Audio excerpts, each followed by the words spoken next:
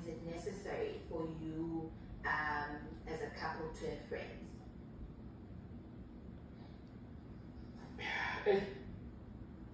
Guys, uh, yeah, no, I'm actually gonna be honest with you. So I thought that it's important that you know one of us or both of us have friends Mm.